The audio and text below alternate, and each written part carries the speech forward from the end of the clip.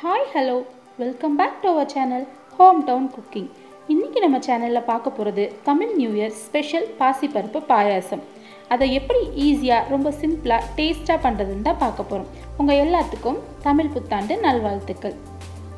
வீடியோக்குள்ளே போகிறதுக்கு முன்னாடி நீங்கள் இன்னும் ஹோம் டவுன் குக்கிங் சேனலை சப்ஸ்கிரைப் பண்ணலைன்னா ரெட் கலர் சப்ஸ்கிரைப் பட்டனை கிளிக் பண்ணி சப்ஸ்கிரைப் பண்ணிக்கோங்க. பக்கத்தில் இருக்க பெல் ஐக்கானை கிளிக் பண்ணி நோட்டிஃபிகேஷனை ஆன் பண்ணிடுங்க.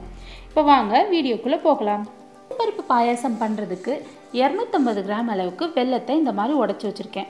ஒரு டேபிள் ஸ்பூன் அளவுக்கு பச்சரிசி மாவு கொஞ்சமாக ஏலக்காய் முந்திரி கொஞ்சமாக திராட்சை.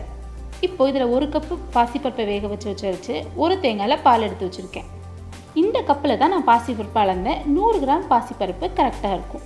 இந்த அளவுக்கு இதை நல்லா கடைஞ்சி வச்சுக்கோங்க. அதே மாதிரி தேங்காவும் ஒரு சின்ன தேங்காயில் தான் பால் எடுத்தேன். இப்போ ஒரு சாஸ் பேனில் நம்ம எடுத்திருக்க வெள்ளத்தை போட்டு கொஞ்சமாக தண்ணி ஊற்றி வெல்லம் கரையிற அளவுக்கு நம்ம காய்ச்சிக்கலாம். இதுக்கு எந்த ஒரு பதமும் தேவையில்லை. வெள்ளமெல்லாம் கரைஞ்சாலே போதும். இப்போ அதை ஸ்டவ்வில் வச்சு நம்ம கரைச்சி எடுத்துக்கலாம்.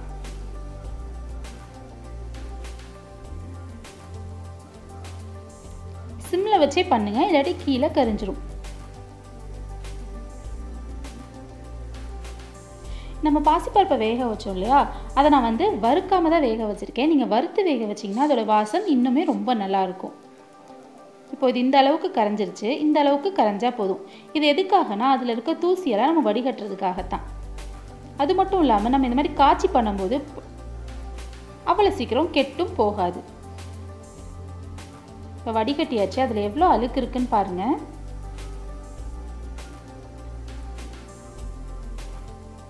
பாருங்கள் எவ்வளோ அழுக்கு இருக்குன்னு. ஸ்டீல் வடிகட்டிலே வடிகட்டுங்க. இல்லைன்னா பிளாஸ்டிக்னா அது வந்து ஓட்டை விழுந்துடும் நம்ம ஹெல்த்துக்கும் நல்லதில்லை. இப்போ இதை நல்லா மிக்ஸ் பண்ணிடலாம். இப்போ இதை ஸ்டவ் ஆன் பண்ணி இதை வச்சிடலாம். இப்போ அதை நல்லா கிண்டி விட்ருங்க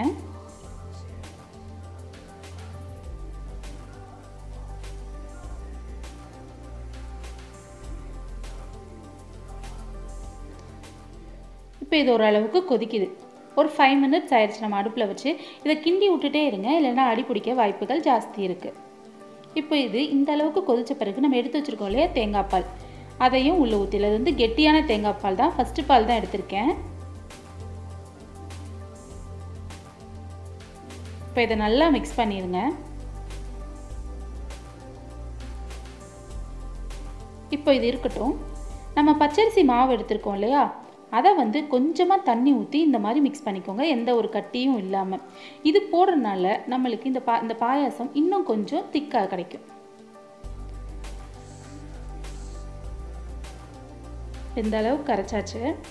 இப்போ இதை நம்ம இதுக்குள்ளே ஊற்றிடலாம் பாயாசமும் நல்லா கொதிக்குது. நல்ல மனமாக இருக்குது நம்ம தேங்காய் பால் ஊற்றுறதுனால அது எப்போவும் கூட டேஸ்ட் இருக்கிறத விட ரொம்ப நல்ல டேஸ்ட்டு கிடைக்கும்.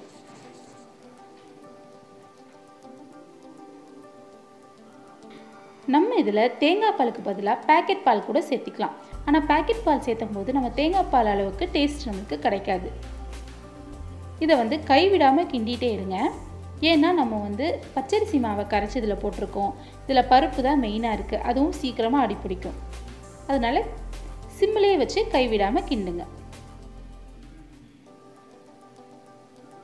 நல்லா கிண்டி விட்ருங்க அடி பிடிக்காத அளவுக்கு.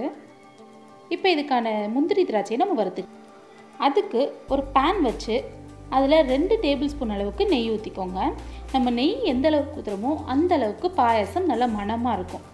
நான் ரெண்டு டேபிள் ஸ்பூன் அளவுக்கு ஊற்றுறேன் உங்களுக்கு வேணும்னா நீங்கள் இன்னும் கொஞ்சம் கூட ஜாஸ்தியாக கூட ஊற்றிக்கலாம் இப்போ பாயாசம் நல்லா கொதிக்குது. இப்போ நம்ம ஏலக்காய் தூள் இதில் போட்டு மிக்ஸ் பண்ணிடலாம். நம்ம ஏலக்காய் தூள் எடுத்துகிட்டு அந்த மேலே இருக்கும் இல்லையா தோல் அதை வந்து டீ தூள் டப்பாவில் போட்டு வச்சிங்கன்னா நம்மளுக்கு டீ போடும்போது அது ரொம்ப மனமாக இருக்கும். இதை கண்டிப்பாக ஒரு டைம் ட்ரை பண்ணுங்கள் இப்போ நெய் நல்லா சூடாயிடுச்சு இப்போ இதில் நம்ம உடச்சி வச்சுருக்க முந்திரி அதை போட்டு லைட்டாக செவக்கிற அளவுக்கு வறுத்துக்கலாம். முந்திரி போடும்போதே திராட்சை போடாதீங்க. ஏன்னா முந்திரி நம்மளுக்கு கிறிஸ்பியாகி வர்றதுக்குள்ளே திராட்சை வந்து லைட்டாக கருகுன மாதிரி ஆயிடும் முந்திரி இந்த அளவுக்கு வறுத்த பிறகு நம்ம எடுத்து வச்சுருக்க திராட்சையை உள்ளே போட்டுடலாம். இப்போ இதில் நம்ம திராட்சை போட்டாச்சு. திராட்சை நல்லா வறுபட்டு பலூன் மாதிரி ஆனோன்னு ஸ்டவ் ஆஃப் பண்ணிடுங்க.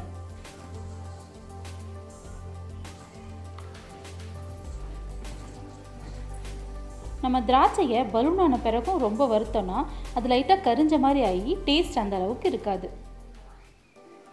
இப்போ பலூன் மாதிரி ஆயிடுச்சு. இப்போ ஸ்டவ் ஆஃப் பண்ணிவிட்டு நம்ம பாயாசத்தில் இதை நம்ம போட்டுடலாம்